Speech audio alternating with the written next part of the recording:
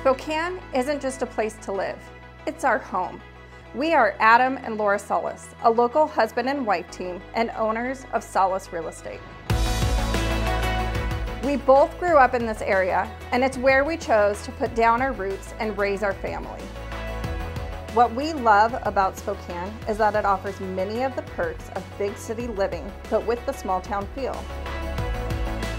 Spokane has a little something to offer to everyone.